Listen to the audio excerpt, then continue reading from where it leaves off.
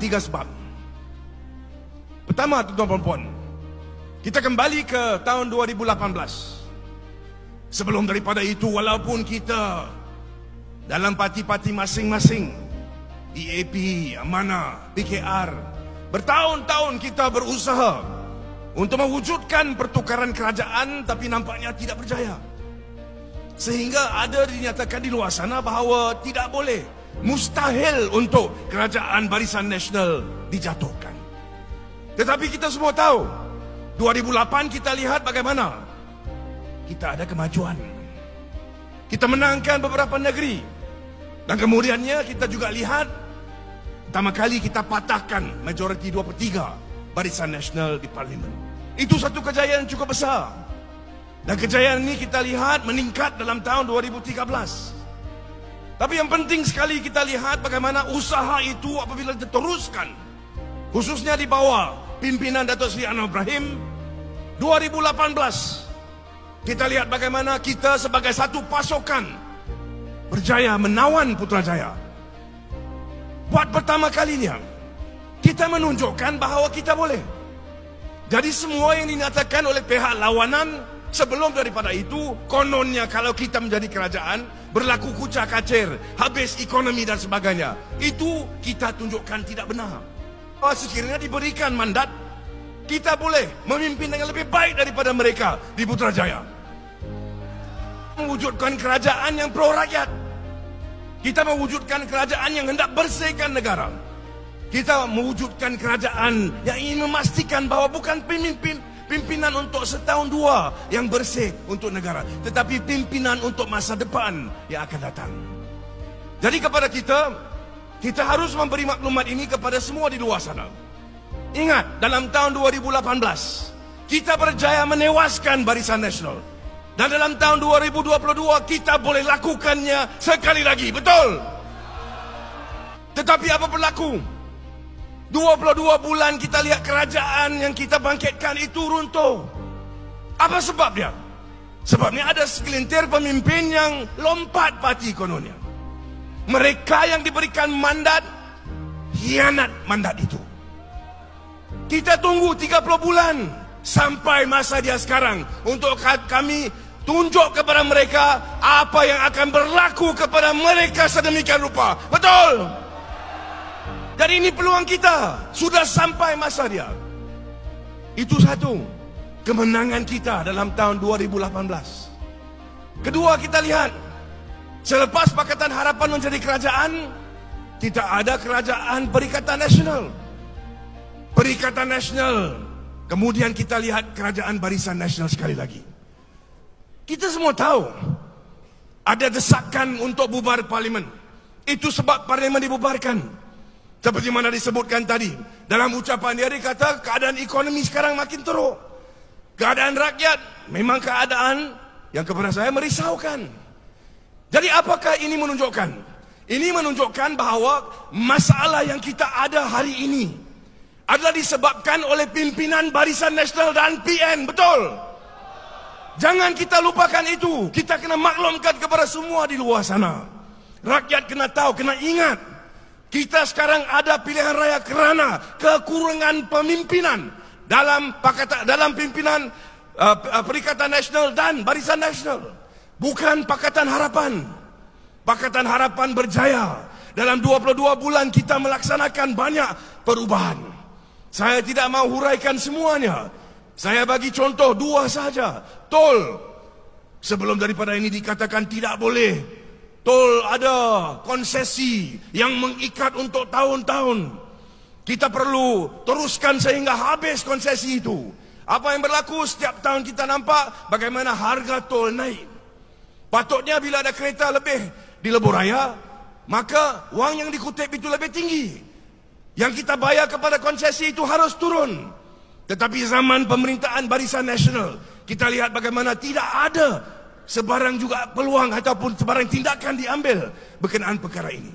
Kita dalam Pakatan Harapan 22 bulan kita mula panggil semua mereka yang pegang konsesi, bincang semula, kemudian berjaya kita untuk turunkan sebanyak 18%. Itu dalam 22 bulan sahaja.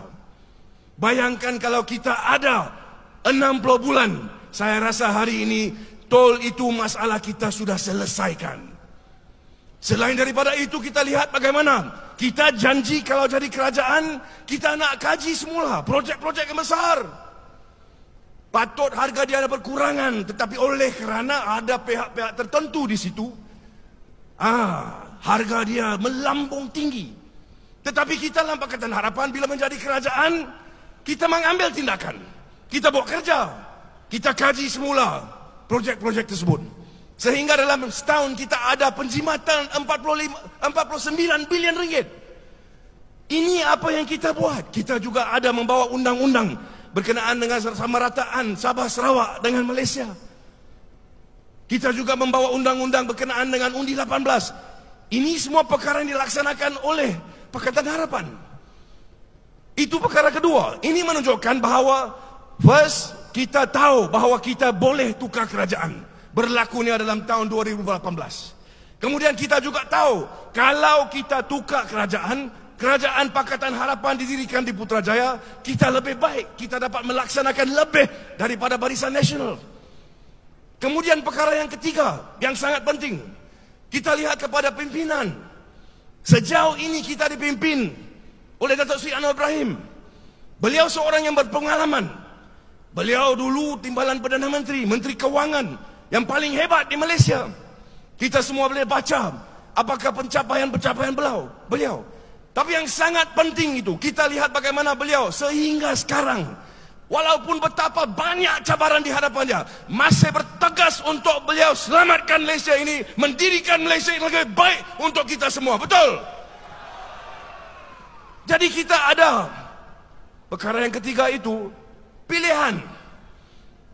Apakah pentingnya pilihan raya ini? Ianya begini, pilihan raya ini adalah pilihan raya untuk memilih satu Perdana Menteri. Dan kita ada pilihan di antara dua orang. Yaitu Datuk Seri Anwar Ibrahim dan Zahid Hamidi. Semalam kita lihat senarai calon Barisan Nasional. Oh, kalau lihat cukup jelas siapa yang akan diangkat sebagai calon Perdana Menteri kalau Barisan Nasional menang. Betul? Kita semua tahu. Jadi kita keluar kali ini untuk undi. Undi itu adalah untuk undi siapa yang akan menjadi Perdana Menteri dan menerajui negara ini untuk lima tahun yang akan datang. Kalau kita tak keluar ramai-ramai untuk sokong Datuk Seri Anwar Ibrahim, saya rasa kita akan lihat pihak lawanan itu angkat Perdana Menteri mereka. Kalau berlaku sedemikian, sudah tentu apa yang kita capai dalam beberapa bulan yang lalu, khususnya berkaitan dengan kita menyiasat dan menyelesaikan skandal-skandal kewangan yang cukup besar itu, kita akan lihat semua kejayaan itu hangus sama sekali. Jadi saya nak ulangi sekali lagi. Ingat, kalau di beritahu tidak boleh kita tidak boleh menang kerajaan persekutuan bagi tahu kepada semua kita boleh. 2018 kita menangkan kerajaan pusat. Kalau diberitahu bahawa kita selepas menang tidak boleh memerintah bagi tahu kepada semua kita boleh. Dalam 22 bulan kita memerintah lebih baik daripada 30 bulan yang lalu di mana kita lihat bagaimana kerajaan runtuh, kerajaan merosakkan ekonomi negara sehingga perlu kita adakan pilihan raya mendadak ini. Kemudian yang ketiga, kalau orang tanya siapakah yang akan menjadi Perdana Menteri, kita bagi tahu kepada semua, kali ini bersama-sama kempen dengan kita untuk pilihan raya ini untuk menjawat jawatan yang pertama dan utama di negara ini Datuk Seri Anwar Ibrahim ada bersama dengan kita. Kalau menang beliau akan jadi Perdana Menteri. Betul?